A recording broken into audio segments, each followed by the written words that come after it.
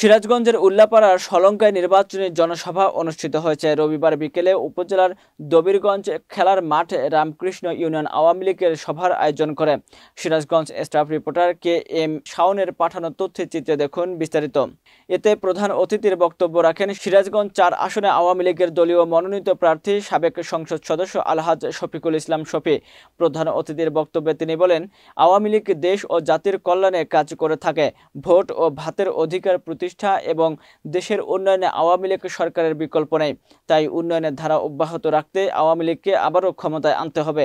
Union Awami লীগের সভাপতি জাহিদুল ইসলামের সভাপতিত্বে জনসভায় বিশেষ অতিথির বক্তব্য রাখেন উপজেলা আওয়ামী লীগের সভাপতি ফয়সাল কাদের রুমি, সলঙ্গা থানা আওয়ামী লীগের সভাপতি আলহাজ রাহান গফুর, সাধারণ সম্পাদক আতাউর রহমান লাভু, যুগ্ম সাধারণ সম্পাদক রফিকুল ইসলাম হিরো সহ প্রমুখ।